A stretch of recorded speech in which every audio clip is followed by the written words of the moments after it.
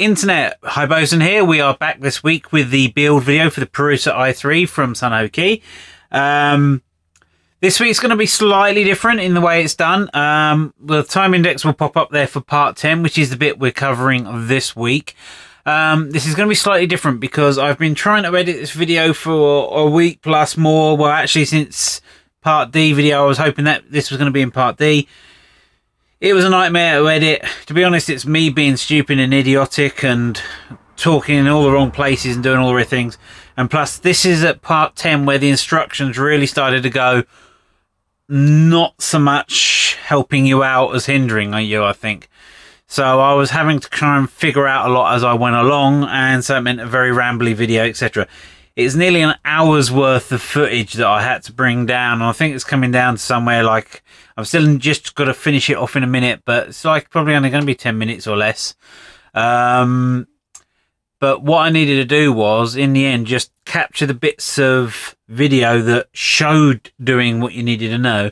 And I'm going to actually do a voiceover over the top of it. So in a moment after I've finished here, I'm going to be going indoors, uh, back in there and trying to record a voiceover over what I have edited. So hopefully that will work out. Uh, and I think it might be the way forward for some of these videos because I think it might be a bit better if I'm not trying to concentrate on talking you through things as I'm doing it. Maybe I'll probably be able to produce better videos, but we'll see how this one goes and I'll take it from there. Anyway, babbled on long enough. Uh, let's get on with the video. Back onto part 10. Whoa, whoa, yeah. Oh, before you go to part 10, actually, uh, I just suddenly remembered uh, another reason why I was having trouble editing. Uh, I meant to say this a second ago, but I forgot, was the camera that I use here for the downward shot showing the pieces actually uh, stopped running about five, ten minutes into the build. Uh, so it was pretty much still fully populated at the time, and po fully populated. I found out later was some of the wrong nuts and bolts and stuff because, like I said, the instructions aren't very helpful at this point. Um, so that was another reason. So there will be some differences in as and when it comes to taking apart or getting apart. I'm going to do something either on the screen down here saying when it was or somewhere else maybe, but probably about here. Um, so that's just another thing to look out for. That'll be slightly different as well. I hope to try and keep this whole thing very uniform, but hey, technology is technology and it's fun and it goes wrong on you sometimes. Anyway, now we can get on with part 10 because I've remembered, I think, pretty much everything. Yeah, I think so. Let's get on with part 10. Hi there, I will have to first apologise if the volume is a little low on this as I am doing this when others have gone to bed. But what we need for this part are one extruder motor, two plastic parts, 12 M3 by 12 millimeter bolts, 4 M3 by 16 millimeter bolts, two M3 by 18 millimeter bolts and 16 M3 nuts. Parts that are not being displayed right here, but you'll see as we go along, they are going to be two M8 feed rods, 470 millimeters long. I'll learn English in a minute. Two times M8 feed rods at 340 millimeters long, and two T8 lead screws at 300 millimeters long. Okay, that's covered the basic parts. Let's get into this. In this first bit here, when we put an extruder on, we need one extruder motor, four M3 by 12 mm bolts, and four M3 nuts. Here you can see I'm attaching the extruder motor to the top left hand as you look at it from the front of the frame. Now this takes four of those M12 bolts as you saw in the bit at the beginning here and as you can see here what I'm trying to do is first fiddle need three hands to try and do a job as you normally do in these situations. And it's just a case of holding the bolt behind the uh, the black part you can see there and screwing the bolt in from the front. It's a little bit easier on the top one. Once you've got one in and it's being held up it's far far easier. So as you can see now I'm just starting to get the second uh, nut and bolt all in and done up normally a little trick that I would do here is I would actually kind of use things like Blu Tack to maybe hold nut in place behind somewhere fiddly and tricky like that But alas, on the day that I did this, I'd, mm, I'd run out of Blu Tack, so that wasn't an option for me. And, oh, as you can see as I'm tightening it there, the bolt at the back is, uh, nut at the back is spinning around, so I use my tweezers. Now I'm using my tweezers to come up behind from the thing and try and just get that last one in. Now like trying to be a complete ninja and drop the nut and bolt. Yes, it happens and it will happen a lot when you're building this. And finally I managed to defeat it and get the four in. Now the next bit here include needs two plastic parts, four M3 by 16 millimeter bolts and as it disappeared and 4M3 nuts. Now here as you can see I'm just taking the um, plastic coatings off the, the, plastic parts which we've done in all the other stages. You should have done that plenty of times by now. Okay now we're just uh, popping on this top piece here and this bit here requires two of the uh, M3 by 16 millimeter bolts on each side so we just need two for this size. So you just pop in the screw in coming in from the front there and screwing down into the nut. That's and then there's another one just coming in from the side piece here and you just sneak that in under there, drop your bolt in and tighten away. Something, you know. It's the standard procedure of the retention screws on this. And then get your uh, Allen key stuck and jammed as I do regularly with these. Seems to get locked into the heads a bit and you have to the damn things out. Okay, as you can see there they are. Two of them there. Now it's just a case of uh, popping the second uh, plastic piece on. Hope my peas aren't popping too heavily on this. I have to be quite close to the microphone at this time of night for this. And uh, so we just pop that on. Again, grabbing the M3 by 16s, popping them in, tighten away, try not to drop nuts and bolts all over the place. Although that happens quite regularly on this build. Okay, right, now we're moving into the next stage here. You can see I've got the piece we made earlier with the stepper motor on. And we're going to need two of the feed rods, the 340 mils on this two M3 by 18s, two M3 by 12 mils, and four M3 nuts. So we're just going to take uh, the 340 mil rod there, take it in through the top, down through the uh, box slider, and into the the plastic piece at the bottom. Here you see I'm now prepping one of the M3 by 12 mil bolts with a nut on it ready. And here we're going to be using doing the kind of retention screw technique we did with the the lower slide. You can see it there and that just holds the rod in place. I'm going to look at the way that holds things in. Uh, as you can see I'm just pointing out the bottom there where the next one's going to go which is the M3 by 18 mil bolt and the M3 nut. Like I said, I was saying I'll have to look a little bit later at the way they're held in because all that seems to be doing the job. Oh, and there's me dropping them again and hunting for them. As they do the job, but I I don't know. I think I could probably make look at other ways of uh, stopping them disappearing out of there. But as you can see with me pulling it around there, it's in quite securely and that can slide up and down and it's not falling out of place. I just feel like there might be a better way.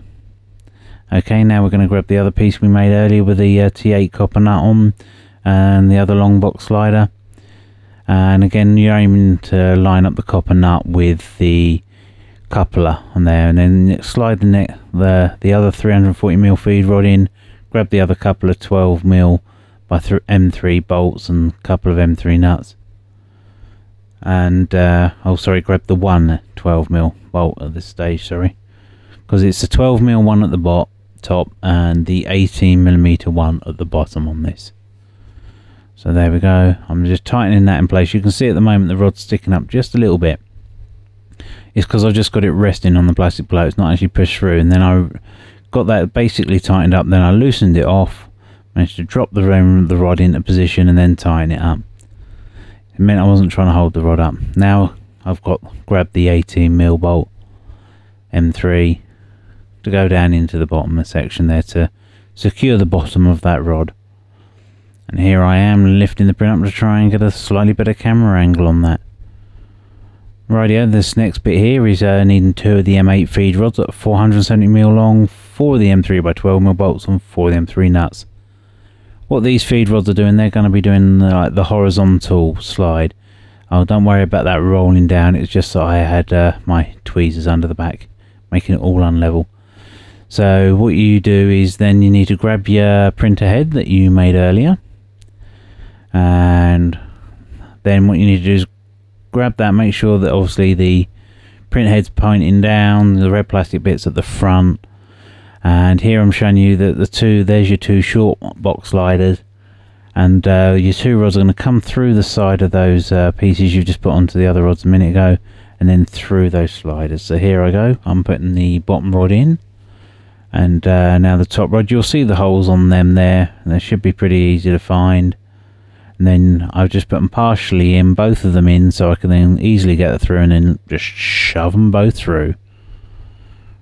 Now I'm just going to hook them in and fiddle and mumble under my breath at the time I think I was doing. I can't even remember and it's been a while.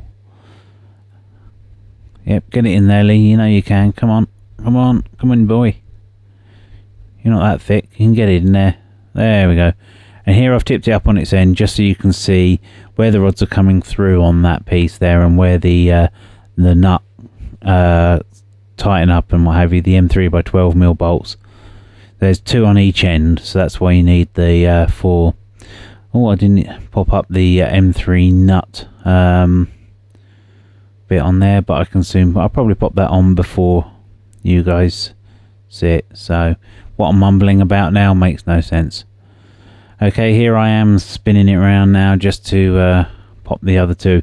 Now here you can see I had to go to my pop because as I was saying, the instructions on these weren't brilliant and they were about four nuts and bolts short on what they said. So I had to kind of figure it out as I was going along. As you can see, I was looking on the floor for a, a nut I dropped earlier. Hopefully I won't need that and it's a quick and easy enough to pop these bits on.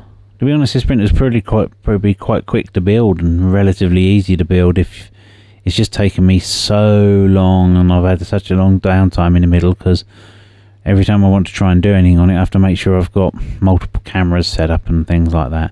So that's why it's been taking me quite a while to get where it's get. At the moment, it is sitting at the end of this stage, so hopefully before next week he says. I'll have time to get this all, at least the next couple of steps done. Okay, so there's me just showing how it can slide back lovely and and how I don't want the rods to shoot out and impale me in a cool fashion. But anyway, now we need the two T8 lead screws, 300mm longs. These are going to give you your Z axis and this is what lifts the printer up and down. I'm lifting it up there towards the camera so you can now see, you know, I've had to use a long shot on most of this because it just, that camera angle, unfortunately you just couldn't see what I was doing too well. And you, you just screw them round and through and down until you get it into the coupler. Now you might wonder why I'm screwing it through and that, making it sit all the way up the top there when it would have been just two seconds to screw it through and have it at the bottom. I want it out of the way of the uh, the bed going back and forwards because obviously I've still got bit of the heated bed and other things on so it's best just to keep the head up and out of the way. Now as you see there I was uh, I tweaked the uh, grub screws on the couplers because when I was trying to put that in there it caught so just remember to make sure they're undone enough so you can get your your lead screws in there so now I am just trying to get it a bit further up and out of the way. Trying to level it up as well. I'm trying to eyeball it a bit level. So when the time comes for calibration and other things hopefully I won't have so much fiddling to do. Come on Lee you happy yet? Oh left a bit right a bit left a bit right a bit. Okay. Now I've got that all done and what have you I've now retightening up those grub screws and that's basically it once those grub screws are done uh, that is this stage of it done that's part 10 so as you can see I look quite pleased with myself for some reason God knows why anyway So uh, that'll be the end of part 10, and I'm now going to go back to the outro and move on to the next uh, next week. I'll catch you in a bit. Bye.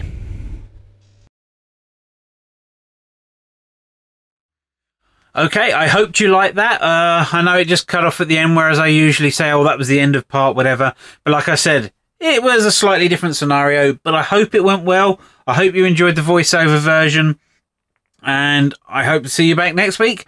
Uh, as you can see at the moment, this is still at the stage as you saw it at the end of that video, really, pretty much.